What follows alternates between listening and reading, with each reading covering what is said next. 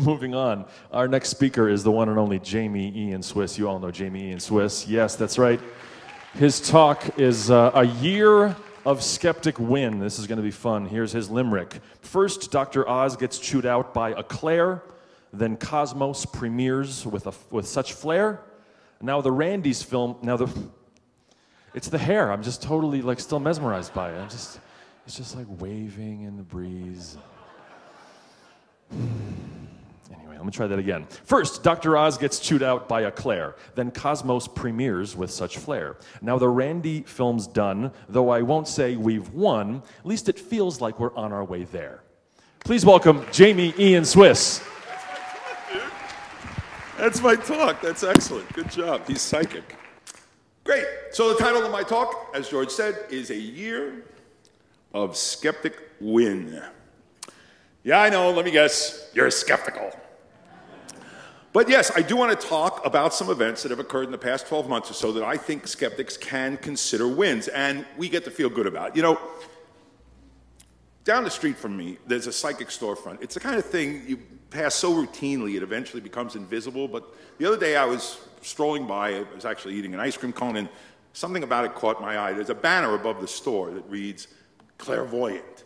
And beyond this, uh, or beneath this, along the awning, it says tarot reader, spiritual advisor, and then there's a big neon sign in the window goes, psychic. And then I noticed there's a little sign by the door, by the doorbell, right? And it says, please ring bell.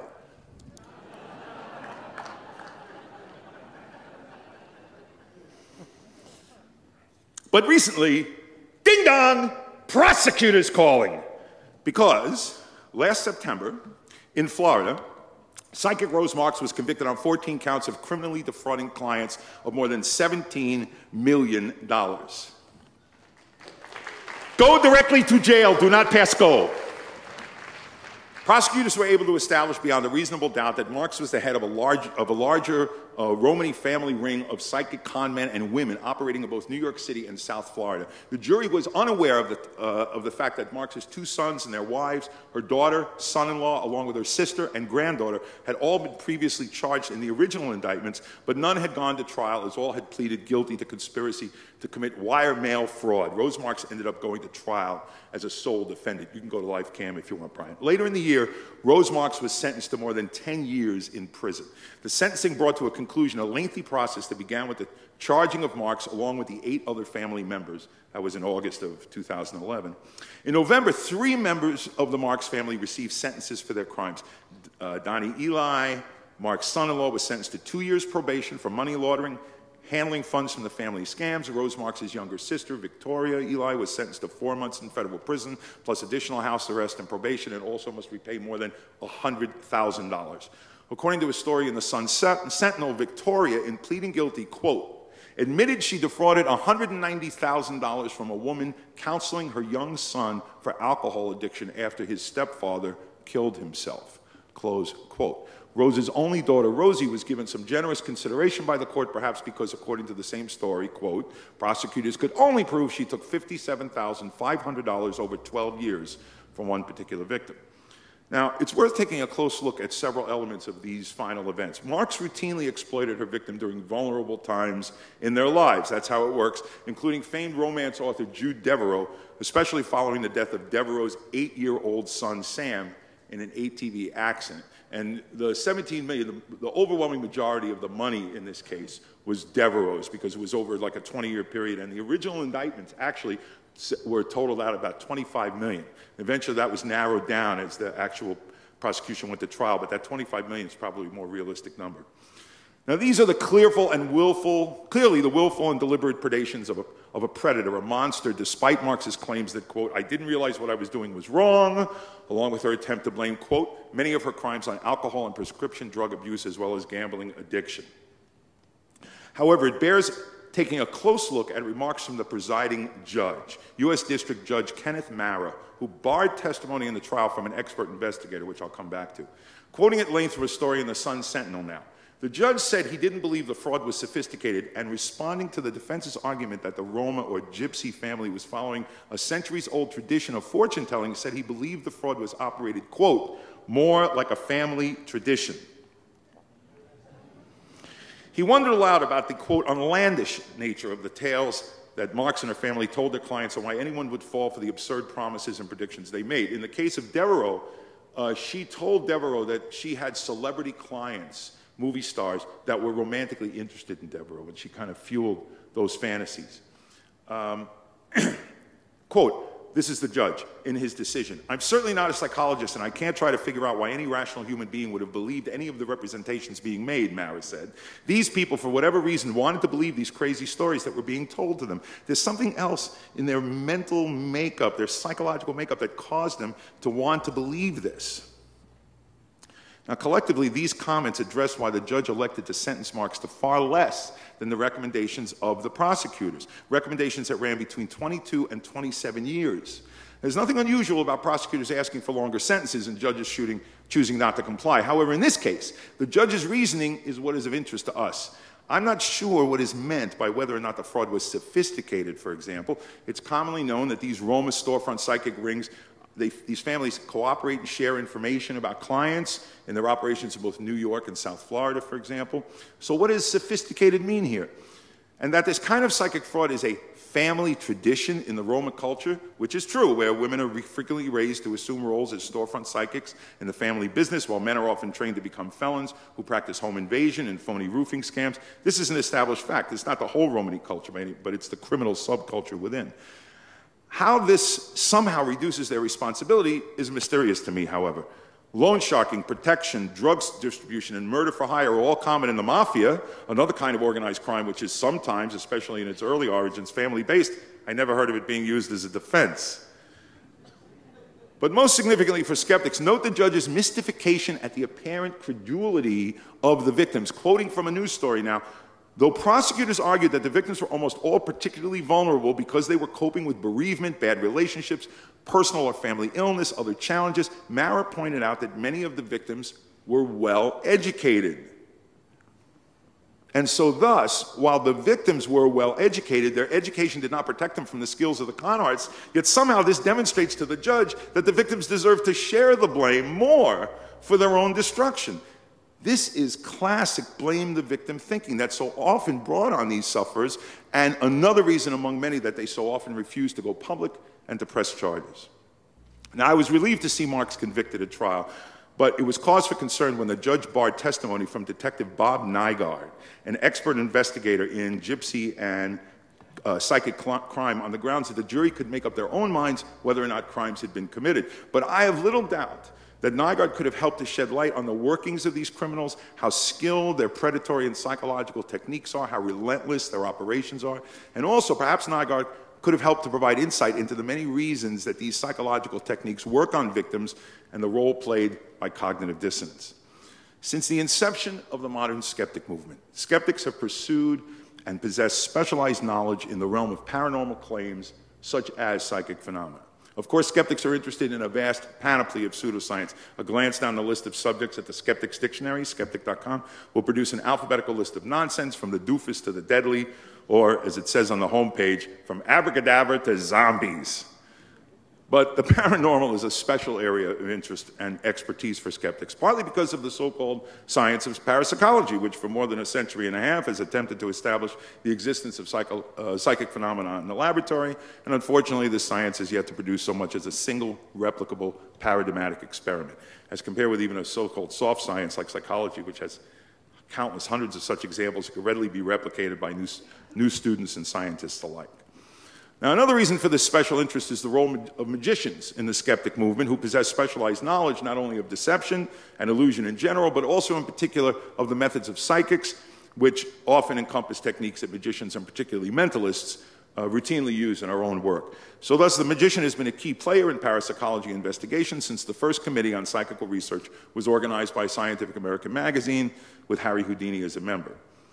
And finally, last but not least of these reasons for our interest, there is a terrible predation and damage that professional psychics do, whether it's a television talk to the dead medium who entraps people in their grief rather than helping them to return eventually, as they must, to the normal living of their own lives despite the loss of loved ones, or professional storefront fortune tellers and takers who use their traditional, finely honed psychological weaponry to rob people of their dignity and self respect, their self control, and often their life savings. This is where skeptics bring our special knowledge and concerns to bear, combined with our role as consumer advocates, helping to protect victims and potential victims alike. Now, all too often, prosecutors faced with these kinds of crimes are reticent to file charges. Victims are embarrassed, they don't want to come forward publicly, and especially in South Florida, oftentimes the police will help make a deal between victims and perpetrators, allowing the psychic criminals to pay reparations, sometimes huge amounts of money that they somehow seem to have readily available in return for avoiding criminal charges. Now, I understand the cops' desire to do this. They're glad to see victims receive restitution, but the problem is that it leaves the predators out in the street to take down their next victims, the vicious cycle doesn't stop. With Rose Marks now in a Florida prison, at least one con artist has now been taken off the streets, protecting future victims. But crimes such as these will hardly be slowed by this prosecution, successful as it was. And law enforcement professionals need to stay both informed and aggressive if we're ever to have a significant impact on such family business. As I said here in my talk last year and in several of my Honest Liar videos, skeptics should not blame the victims.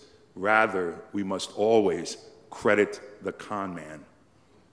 So when Rose Marks go to jail for a decade, it's a win for prosecutors, it's a win for victims and potential victims, and I count it, number one, as skeptic win. And then there's Psychic Sally. Psychic Sally is a well known talk to the dead medium in the UK who's had a television series and plenty of media coverage, not unlike John Edward here. A guy named Myles Powers, who runs the educational YouTube channel Power M 1985, is a chemist from the north of England and spends what little free time he has, in his own words, sharing his love of science through home experiments, visiting sites of scientific interest, and writing angry rants at pseudoscience opponents. Now, he was at this Psychic Sally show the night this occurred, and I will take the liberty here of reading directly from his blog about this. And man, I would have gladly paid good money to have seen this firsthand. Now, this is a little detailed, but the details I think really help make clear what happened. So, from the blog. One aspect of the show is that audience members can submit photographs of dead loved ones in the hope that Sally will select theirs, give a psychic reading from it. Sally pulls out a box on stage of one of these pictures. She'll hold the picture up to the camera. It was projected on a large screen behind her. The picture is of a middle-aged woman. Okay? Sally immediately begins to get communications from beyond the grave from a man holding a baby. Notice, noticing that no one in the audience is responding, however, Sally asks the person who submitted the photo to stand up. And a woman in the center of the hall stood up, and Sally once again began to get messages from the afterlife. She's informed from the afterlife that this man and baby were somehow linked to the lady in the picture. However, the woman in the audience, whose image is, live image is now projected behind Sally, disagrees and starts to look increasingly confused, as presumably nothing Sally is, Sally is saying is making any sense. Sad, uh, Sally then decides to flat out ask her if the woman in the picture has had any children who had passed on, and when informed that she hadn't, responded by saying, Well, I'll, I'll leave that then. Yeah, good. Sally then becomes in direct contact with the woman in the photo, who begins to tell her that there was a lot of confusion around her death.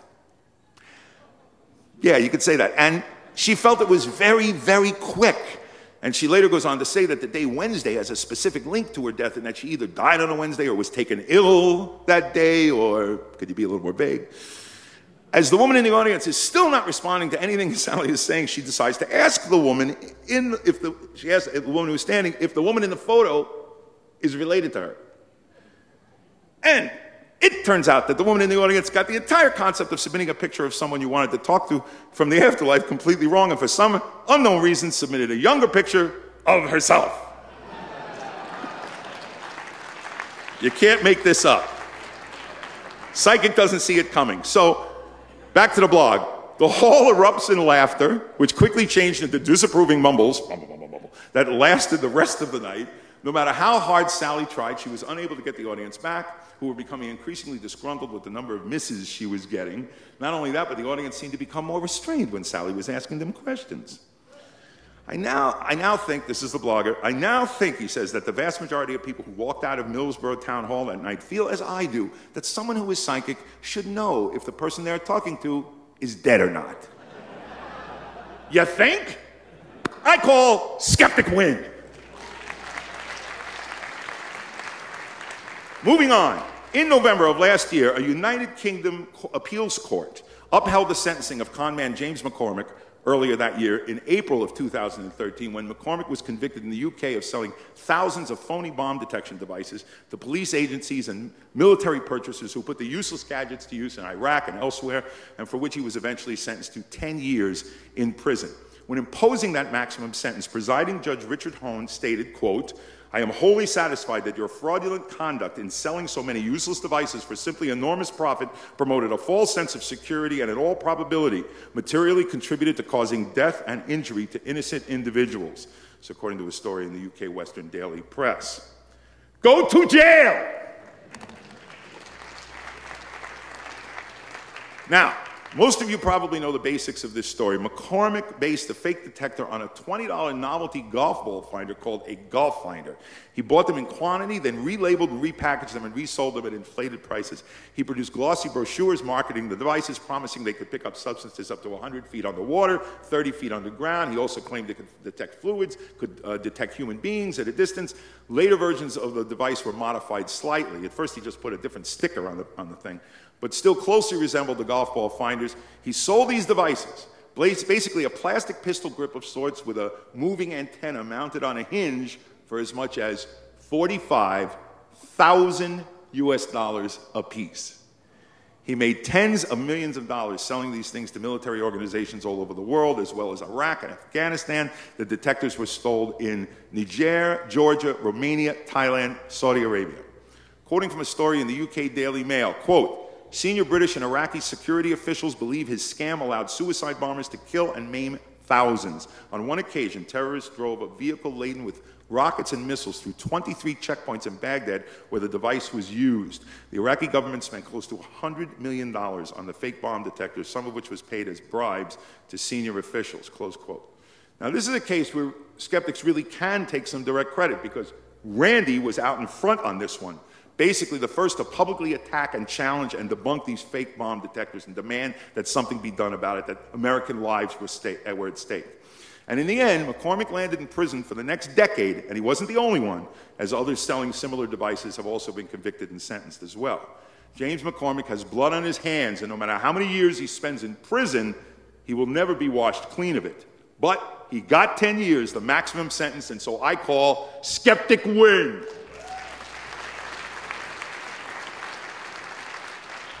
And now to a massacre of sorts with less bloody consequences. Sherri Shepherd and Jenny McCarthy are leaving the daytime talk show, The View. Now, skeptics were appalled. Were appalled, of course, when McCarthy, a visible spokesperson for the anti vaccination movement, was hired to join the show in the first place. In the face of wide criticism at that point, she even tried to deny that she was an anti vaxxer, a ludicrous denial of the facts. Now, the network says her anti science views had nothing to do with firing her. That may or may not be true, but who cares? As a bonus, Sherri Shepherd also is gone. Now, Phil Plait posted a clip from The View in which hosts are talking with a guest who is a fundamentalist Christian, and then they veer into a discussion of science. And in this conversation, Whoopi Goldberg, of whom I, I consider myself a fan, by the way, but at one point asks if the world is flat. And at, the start, at the start, it seems pretty clear to me she's using it as a rhetorical device because the guest on the show is a creationist and says she doesn't believe in evolution. So Whoopi is trying to talk about science, right? What do you, what do you accept from science? And also God, because she's a believer and she's trying to say, like, you know, God started the universe, but then evolution or this kind of, this kind of thing. And she's trying to be reasonable about it. She figures she'll back up and start, it seems to me, she figures she'll back up and start with something we can all agree on the fact established by science that the earth is round. And I would add, this is not exactly deep, complicated science. Correct me on this, but I think this is clear to demonstrate by any photo from a satellite. Now, but now, unexpectedly, her co-host Sherri Shepherd, a bit to Whoopi's surprise, I think, replies and says she doesn't know if the Earth is flat or not. She's not so sure. She says it's just never come up for me. It's never been an issue of interest. I mean, I'm more concerned with feeding my kids. And Whoopi tries to go, okay, so, uh, and if your kid asks you? And in the end, they're talking about like going to the library maybe to find out, you know, and, you know, uh, I mean, and listening to The View talk about science is like listening to a roundtable discussion about how many angels can dance on the head of a pin, you know, by six blind men. I mean, it could make your brain melt down and leak out of your ears. But in the final analysis, both these brainless wonders are gone from the show, and whatever the reasons, good riddance to bad rubbish, I declare skeptic win. And now let's move on to a con man who isn't in jail, but hey, we can always hope. Recently, Dr. Oz went to testify before the Senate Subcommittee on Consumer Protection, Product Safety, and Insurance, chaired by Senator, chaired by Senator Claire McCaskill of Missouri or as Scott Gavura dubbed it in the Science Based Medicine blog, Dr. Oz and the terrible, horrible, no good, very bad day. I love that. At the Senate hearing, McCaskill declared, quote, the scientific community is almost monolithically against you in terms of the efficacy of three products that you call miracles, close quote. A former prosecutor, McCaskill, was deft and fearless as she questioned Oz directly about what she called the false hope that he gives viewers, as well as the role he plays, quote, intentional or not, in perpetuating these scams. And Oz was compelled to admit that the products he endorses, uh, like the green coffee beans diet aid, would not pass scientific muster, his terms. But he claims that he believes in them and he offers his viewer hope by promoting them. Now, on the Respectful Insolence blog, ORAC, the known, the to blog of the surgeon and scientist David Gorski, refers to Oz as one of the four horsemen of the Woo-pocalypse, along with Andy Weil, Dean Ornish, uh, Mark Hyman from the Ultra Wellness Center in Lenox, Mass. And Gorski has terrific takedowns of all of these clowns, and I highly recommend you consulting some of his excellent writings about them. Now, at the hearings, Oz was asked about the so called Oz effect. That's when he endorses product, uh, particularly fad diet scams, and they suddenly explode in the marketplace. And one of those items was green coffee bean extract, about which they showed a clip of Oz saying, quote, you may think magic is make believe, but this little bean has scientists saying they found the magic weight loss, magic weight loss for every body type, close quote. And when asked about the use of the word magic, Dr. Oz had this to say. Do you believe there's a magic weight loss cure out there? It, it, the, the word, if you're selling something because it's magical, no. Let's watch that again, shall we? Do you believe there's a magic weight loss cure out there? It, it, the, the word, if you're selling something because it's magical, no. Tune into the Dr. Oz show, there is invariably something to make a skeptic puke. In May of 2013, you may quote me, on May of 2013, Oz featured the Long Island psychic Teres, uh, Teresa Caputo, another Talk to the Dead con artist. It's just a random day I tuned into the show. Um, uh, uh, uh where was I? Oh, right. Um, and Oz wrapped her in pseudo-scientific credentials with the help of another medical quack, Dr. Daniel Amen of the Amen Clinics, who hooked Caputo up in the air to a SPECT scan, single photon emission computerized tomography, while she was talking to a dead spirit. And Dr. Oz insisted that the events presented on the show were, quote, historic and groundbreaking. Here's a newsflash. Historic and groundbreaking scientific discoveries do not occur on daytime talk shows. Now, at the start of the show, Dr. Oz thanked Miss Caputo for her, quote, bravery. Really? He then immediately added that coming to the show to do the demonstration was her own idea. Bravery, to submit herself to free publicity in front of millions. How brave. I could almost hear the cash register bell ka-chinging right over the air. Ka-ching! Of all the dangerous assaults on America's healthcare, from fad diets to homeopathy, chiropractic, countless other so called alternative medical practices, I confess I find Oz particularly offensive. The reason is he has a huge audience, millions every day who tune in, who already understand far too little about science, and instead of educating them, he is fundamentally undermining how people think about medical science and medical care and how to make sound judgments about what is medically and scientifically true and untrue. If the skeptic movement is about helping to teach people how to think, Dr. Mehmet Oz is the anti skeptic and the anti thinker. He is reversing his responsibility as a medical practitioner and weakening the public's ability to make informed judgments. Dr. Mehmet Oz is a hazard to American health. But to see him taken down a few notches on national television in the chambers of the United States Senate, I consider that skeptic win. Now, I should point out, so far I've been noting skeptic wins in the form of defeats of the enemy when bad things happen to bad people. But sometimes a skeptic win occurs when good things happen to good people. And so, how many of you watched at least part of the new Cosmos series? Yeah. When the results were in, National Geographic Channel announced that a whopping 135 million people, including 45 million in the US, watched at least some of the 13 part science series. The series aired on all 90 National Geographic channels. Uh, as well as 120 Fox branded channels in 125 countries around the world, making this the largest global launch ever of a television series.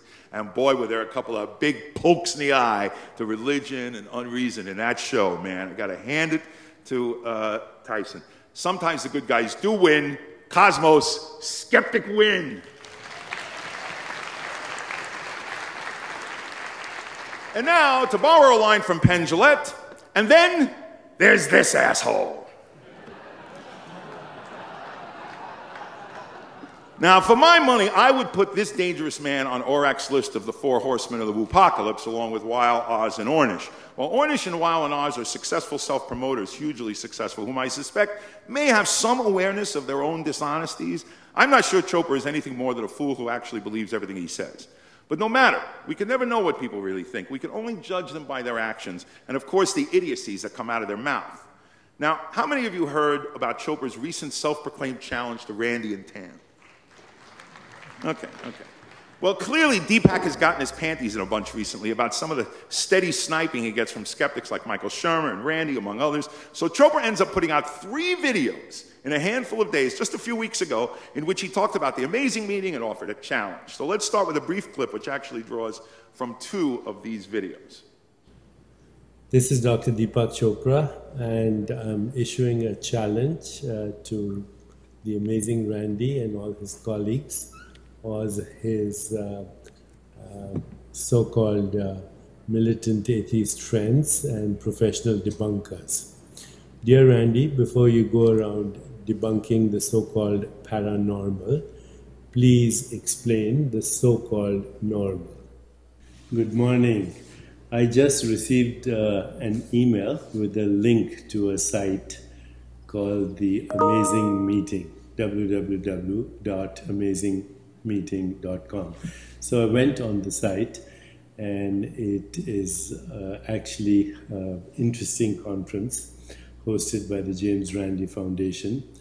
He's a, a, professional magician and debunker who has ambitions to be a scientist and philosopher, which he's not, of course. Um, it has superstars coming to it, like uh, the uh, willfully ignorant Richard Dawkins, um, Daniel Dennett, who believes we're all zombies without free will and that we're biological robots, and also has the small fry, um, the professional debunker and editor of uh, Skeptic magazine, Michael Shermer, uh, Sam Harris, etc., etc. So this is the biggest meeting uh, the most self-congratulatory meeting of uh, those who are self-appointed vigilantes for the suppression of curiosity, creativity, imagination, Uh, legitimate scientific inquiry. They are hardcore materialists who believe that the universe is essentially material and that consciousness is an epiphenomenon. Or in other words, nya, nya, nya, nya, nya. How's that for some reason debate, huh? Ad hominem, anybody? You know, in another video, he keeps referring to Randi and his cronies. Hey, Deepy, I want to be a crony too. Hell, I'd be flattered to be name checked by this bozo. And I'm not usually one to call names. But since he set the tone on this one, the hell with it. Just for today, I'm in. By the way, epiphenomenon. That's a secondary effect or byproduct that arises from but does not causally influence a process. This whole thing about mind and brain. And Deepy has grown very fond of this word, as well as of epigenetics, a term I believe he's incapable of explaining, much less using properly, but of course, doesn't even begin to compete with the frequency of his use of another word he doesn't understand, quantum. Epigenetics, by the way, claims that your mind can alter your genes, and to date we have about as much evidence to support this claim as we have evidence for the existence of psychokinesis. Get online. Anyway, now the challenge he issued, such as it was, is to explain the normal world rather than the paranormal, specifically to explain what he calls, quote, the hard problem of consciousness, in essence, the origin of subjective sensation from brain activity, and in a peer reviewed journal. That's what he says. That's, that's, that's it. And then we get a million. Now, Chopra basically thinks consciousness is a kind of magic that can't be explained by science, and then in his view of mind brain or mind body dualism, consciousness precedes the brain rather than the other way around. Now, I'm not going to spend time here deconstructing the barely intelligible details of Deepi's phony challenge. If you want a nice little guided tour, I highly recommend Jerry Coyne's Why Evolution is True blog, where he's also reposted the videos and discussed them. But I do want to comment here about the nya nya nya nya nya quality that runs through Deepy's tone. Once he gets his ire up about the flack skeptics are giving him, what happens is, is that Deepy drops his spiritual peace on earth, goodwill towards mankind mask and reveals himself to be a very, very vain man. In fact, a small minded, petty, mean spirited, childish little man. It's kind of hard to miss. I mean, look at this. Okay, so really, you're a best selling author, you think you're a genius, there's a ready supply of book buying public who seem to agree, you think of yourself as a scientist and a philosopher, what do you do? You spend your time on Twitter posting stuff like this? And, you know, ooh, a magician. Ooh, yeah, mm. And you know who else has said almost the same words as a supposed critic of Randi? The talk to the dead scumbag John Edward. Or, as we learned on South Park, the biggest douche in the universe, He's another one whose entire response to Randi and skeptics and the JREF is, I don't need to talk to a magician, but hey, while I'm at it, while I'm up here, Johnny Baby, I got a million for you. Okay? You want to prove you can talk to the dead? Come, talk to me, buddy. I got it right here. Okay? And if you don't need the money, you know, give it to a charity or something. Hey, you're trying to make the world a better place. And you too, Deepy, a million if you can come here and demonstrate any one of the warehouse of supernatural claims you believe. And despite what you say on your video, you won't need bodyguards. That's what he says on one of the videos. Oh, I'll come. Please invite me. I'll come, you know, but I, I might have to bring bodyguards, right? Nobody and nothing gets taken down here except nonsense and unreason.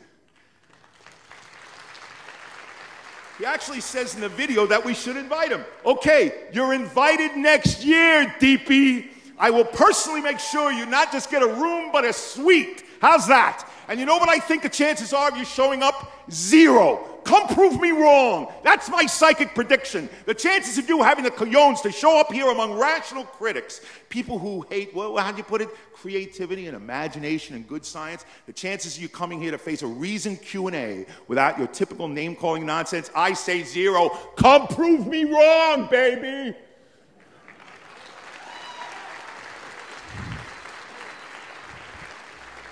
But seriously, I do have a point to make about this. These psychics and Wumeister conmen are routinely, invariably narcissists and sociopaths, and sometimes both. When you pin them down and the mask drops, that's what they reveal. I'll tell you a story, quick story. So Uri Geller, actually, too, when Flight 370 went down mysteriously, Geller was out front and center trying to use a human tragedy to promote himself, claiming he'd been asked to help to try and find the plane, but declining, of course, to name who had called him, because I promise you, nobody asked. Many years ago, my partner at the time went to see Geller give a live demonstration in New York City at the Learning Annex. I, I, didn't have the appetite for it. I didn't go. During the presentation, Geller brought a woman on stage and he asked her to name a color. He has a color written on the back of a kind of a blackboard. He's going for what we call a probability hit. He's written down the color he thinks she's likely to say, but she doesn't say the right color. She doesn't know there's a right color to say. She's just asked to name a color. She doesn't name the one that he needed. So, cloaked in the guise of a smiling con man's charisma, Geller gently directs her to sit on a high stool at the end of the stage. And not unlike the old notion of the dunce cap, he has her sit for an extended time on stage in front of the audience, doing nothing. Until eventually, after ignoring her while delivering more of his talk, he finally allows her to leave the stage. Now, my girlfriend, who was in attendance, was appalled, and she came home furious, heartbroken, literally crying at the bullying psychological cruelty that Geller had inflicted on this innocent woman who did not have the power in that situation to push back against it, maybe not even the insight to realize what was happening in the moment. She attended because she considered Geller a person who might help her life, not viciously abuse her trust and make her feel like a fool. Welcome to the world of the woo wolves in spiritual sheep clothing. But when not so deep, deep, Deepak loses it and spends his time making multiple videos, ranting and calling us names, you know what? I'm going to count that as a skeptic win. Who's with me? now, by the way, I mentioned Jerry Coyne's blog. Well, Jerry also mentioned that some unknown wag had posted a parody of Chopra's challenge video. Now, I'm certain that Jerry intended this as a compliment. After all, he posted the video, but I wanted to use this opportunity to let you know that the unknown wag is also a guy who helped me assemble my visual aids today, and he's a terrific supporter of TAM and the JREF, and some of you doubtless already know him. His name is Brian Walker, and here, now watch his playful little video of Deepy, uh, a little bit edited, slightly edited, and note the picture frame on the bookshelf behind him. This is Dr. Deepak Chopra, and um, I know your conference is coming up. Uh, have a good time at your conference and keep congratulating, congratulating yourselves. You are all amazing realists. What you really need is to be a native of the culture. All the best, guys. All the best, guys. Okay, so. All right, look, I've been, I've been talking about a year of skeptic win, about victories against psychics, bomb detecting frauds, anti vax actresses, television alt medicine pitchmen, and new age woo-meisters. But hey, I'm a skeptic. And I'm a mind reader too. I know what you're thinking. You're thinking, but what does it all mean? Well, I'll admit it doesn't mean we have the luxury of sitting back and celebrating our victories. I'll admit, maybe there was a touch of intended irony in the title of my talk this year. For one thing, I realize it's difficult for skeptics to claim these victories explicitly as our own. In the case of McConnell, like I said, I think we can to some degree because we're out front on it. Similarly, skeptics played a big role in the UK and Simon Singh's victory there against chiropractors. But I think it's very important that we do celebrate these kinds of victories of psychics going to jail and senators taking down alt med pitchmen these are our enemies. These are our targets, and our weapons are the tools of critical thinking. We are consumer activists for the scientific method, and we provide education and information, and we will never know exactly what role we played in helping to inform people who came out and fought these con artists and threats to reason and rationality. We're all on the same side against them. A victory for rationality is a victory for skeptics. It doesn't matter who did what, or if you can identify our specific role, because nobody else does our role. No other public interest group does what we do to inform, to educate specifically about critical thinking, rational inquiry. We have special skills in this arena, we have special expertise, and the battle will never stop. Hey, look, there's about 70 psychic storefronts on the island of Manhattan alone, each one trolling for new victims every day. The phony bomb detection devices still in use as we speak in Pakistan, in Iraq, in Lebanon. The View probably not going to replace their recent star panelists with anyone with a science degree. Dr. Oz remains on the air pitching nonsense to millions who tune in to watch every day, and Deepak Chopra hasn't stopped buying flashy eyeglasses to feature in his next snarky video. Because let's face it, our victories are small. They are perhaps little more than, as the replicant Roy Batty says in Blade Runner, tears in rain. As I said on this stage two years ago, skepticism is a dirty job, but somebody has to do it. And I have been so goddamn fortunate and so goddamn glad to have been able to keep coming here every year and doing it with you, with all of you, my colleagues, my companions, my friends, my allies in JREF, at TAM, in skepticism. I can't thank you enough for your support, your friendship, your stand up consistency and strength in pursuing the battle together. It means the world to me. So, sure, why not? Let's go forth and try for another year, an even bigger and better year of skeptic win. And in the very words from the mouth of Deep Chopra Wu, we are all amazing realists. Say it loud, say it proud, say it with me now. We are all amazing realists. Thanks for having me. Jamy Ian Swiss, the ever demure Jamy Ian Swiss.